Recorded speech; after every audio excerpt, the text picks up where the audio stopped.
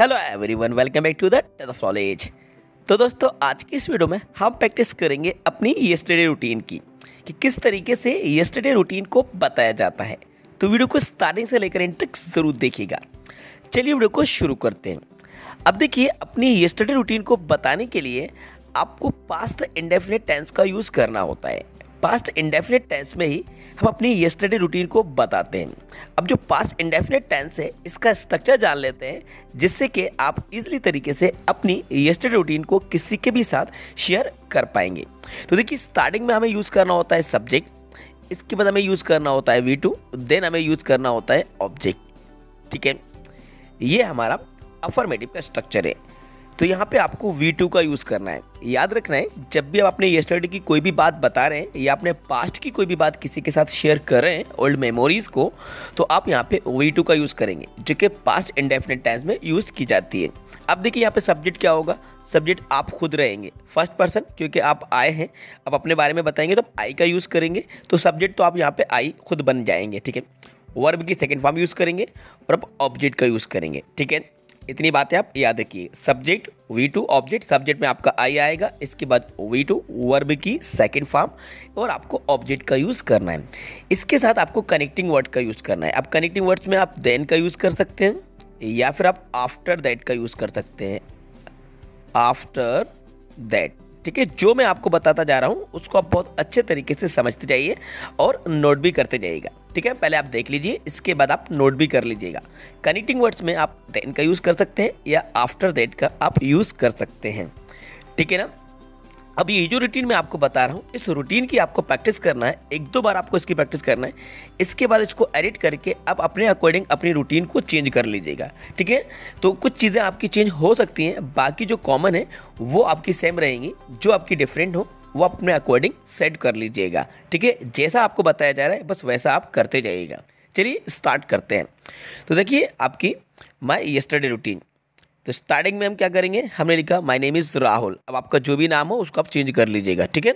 No worries my name is Rahul today I am going to share my yesterday routine with you ठीक है?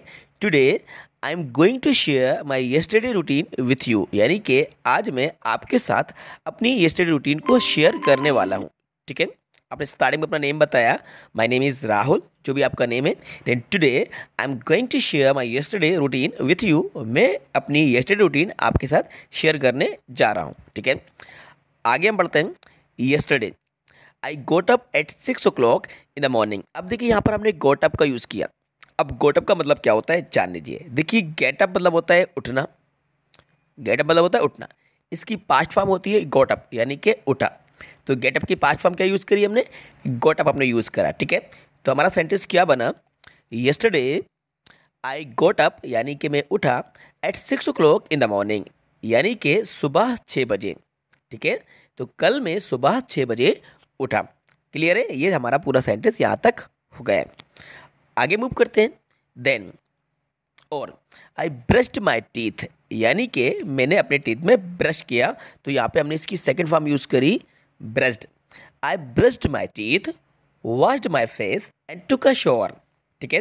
तो आई brushed my teeth मैंने अपने teeth साफ़ किए ब्रश किया वॉश्ड माई फेस अपना चेहरा साफ़ किया, यानी कि चेहरे को वॉश किया, धोया एंड टुक शॉर यानी कि नहाया। टुक शॉर का मतलब होता है नहाना। अब बात का यूज़ भी कर सकते हैं।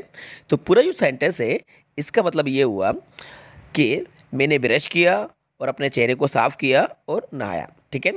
इसके बाद हम आगे मूव करेंगे। आफ्टर दैट आफ्टर दैट का मतलब क्या होता है? उसके बाद, याद रखिएगा आफ्टर दैट उसके बाद। After that I went for a walk यानी कि मैं घूमने के लिए चला गया। अब मोस्टली लोगों की हैबिट होती है जो मॉर्निंग वॉक पे जाते हैं। तो इसलिए हमने यहाँ पे सेंटेंस को भी ऐड कर दिया है। तो क्या लिखा? आफ्टर दैट उसके बाद I went for a walk मैं घूमने के लिए वॉक के लिए चला गया। आफ्टर कमिंग बैक मतलब वापस आने के बाद, अब भाई जब आप मॉर्निंग वॉक पे गए मॉर्निंग वॉक पे गए तो वहाँ से आप वापस भी आएँगे रिटर्न होंगे। तो सेंटेंस हमारा क्या बनेगा? आफ्टर कमिंग बैक वापस आने के बाद आई टुक माई ब्रेकफास्ट यानी कि मैंने अपना नाश्ता किया। टेक की पास्ट फॉर्म क्या होती है? टुक तो ये टेक फ़र्स्ट फॉर्म है। इसकी वीटू हमने यूज़ करा took I took my breakfast and got ready for my school मैंने अपना नाश्ता किया और स्कूल के लिए रेडी हो गया। तो गेट की सेकेंड फॉर्म गोट तो यहाँ पे हमने वी का यूज़ करा। तो क्या बना? आफ्टर कमिंग बैक वापस आने के बाद आई टुक माई ब्रेकफास्ट मैंने अपना नाश्ता किया एंड गुट रेडी फॉर माई स्कूल और अपने स्कूल के लिए रेडी हो गया तैयार हो गए। आगे मूव करते हैं। अब आप स्कूल चले गए। स्कूल में स्टडी करी।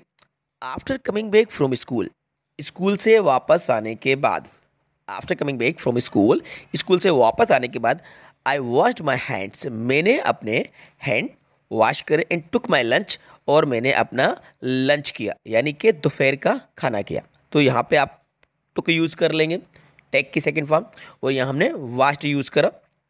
आई वाश्ड माई हैंड्स मैंने अपने हैंड को वॉश किया एंड टुक माई लंच और मैंने अपना लंच किया। क्लियर चलिए, आगे मूव करेंगे। आफ्टर दैट उसके बाद आई फिनिश्ड माई होमवर्क मैंने अपना होमवर्क फिनिश किया। ठीक है? मैंने अपना होमवर्क फिनिश किया। तो आपको जो भी स्कूल से होमवर्क मिला होगा, उसी स्कूल होमवर्क को फिनिश कर लिया। तो आप बोलेंगे I finished my homework after finishing my homework homework को फिनिश करने के बाद after finishing my homework homework को फिनिश करने के बाद I took rest for a while मैंने कुछ देर के लिए आराम किया। टेक की second form took I took rest for a while मतलब होता है कुछ समय के लिए मैंने रेस्ट किया। क्लियर है? इतना आपको समझ आ रहा है ना? I took rest for a while चलिए, आगे मूव करते हैं। एट फाइव ओ क्लॉक पाँच बजे in the evening I went to play cricket with my friends at five o'clock पाँच बजे in the evening I went to play cricket with my friends यानी कि शाम को पाँच बजे मैं अपने दोस्तों के साथ क्रिकेट खेलने चला गया। I went to play cricket with my friends तो गो की पास्ट फॉर्म क्या यूज़ करी हमने? Went I want to play cricket with my friends मैं अपने दोस्तों के साथ क्रिकेट खेलने चला गया शाम को पाँच बजे। अब आप क्रिकेट खेलने भी चले गए। इसके बाद क्या किया आपने? आफ्टर कमिंग बैक वापस आने के बाद, यानी कि आप क्रिकेट खेलकर वापस आए। I did self study till eight o'clock मैंने आठ बजे तक सेल्फ स्टडी करी। डू की सेकेंड फॉर्म डिड डू मतलब करना पाँच मतलब किया। I did self study till eight o'clock till मतलब होता है तक। आठ बजे तक, रात के आठ बजे तक आपने स्टडी करी। देन आफ्टर दैट उसके बाद आई टुक डिनर मैंने डिनर किया, रात का भोजन किया विथ माई फैमिली अपने परिवार के साथ, अपनी फैमिली के साथ। I took dinner with my family then around ten o'clock I went to sleep और लगभग दस बजे मैं सो गया। अराउंड मतलब होता है लगभग दस बजे आई वेंट टू स्लीप मैं सो गया। तो दोस्तों, ये थी हमारी स्टडी रूटीन अब इसको आप चेंज कर सकते हैं आपके अकॉर्डिंग जो भी आपकी रूटीन है, उसको आप इसको चेंज कर लीजिएगा। पहले आप इसकी प्रैक्टिस कीजिएगा, इसको नोट कर लीजिएगा, फिर आपको यहाँ लगता है कि जो कुछ चेंजेस है तो उसको आप चेंज कर लीजिएगा। इससे आपके पास्ट की प्रैक्टिस हो जाएगी। यानी कि आपका पास्ट इंडेफिनेट टेंस अच्छा हो जाएगा अगर आप अपनी स्टडी रूटीन अपनी पास्ट मेमोरीज़ को दूसरों दूसरों के साथ शेयर करने की प्रैक्टिस करेंगे तो आप पास्ट इंडेफिनेट टेंस का ही यूज़ करेंगे। आई होप ये वीडियो आपको पसंद आई होगी तो इस वीडियो को लाइक ज़रूर कीजिएगा। अपने सभी फ्रेंड्स के साथ ज़्यादा से ज़्यादा शेयर भी कीजिएगा। और यदि चैनल पर नए हैं तो चैनल को सब्सक्राइब कर लीजिएगा। Thanks for watching